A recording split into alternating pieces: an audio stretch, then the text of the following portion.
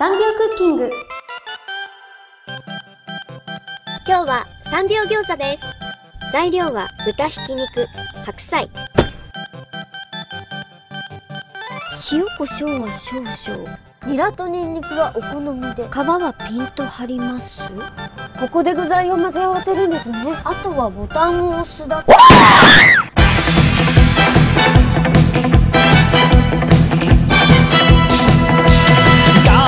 韭菜更好味，伴着大蒜香葱，在派中種種，餃子饼皮里面，火柱高升天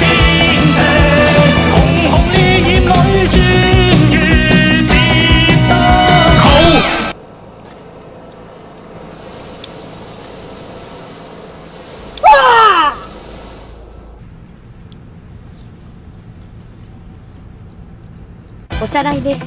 3秒でできるので忙しい朝などにもおすすめです，